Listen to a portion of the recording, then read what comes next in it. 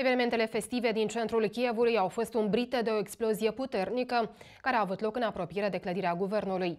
Presa ucraineană scrie că două persoane au fost rănite grav și transportate la spital.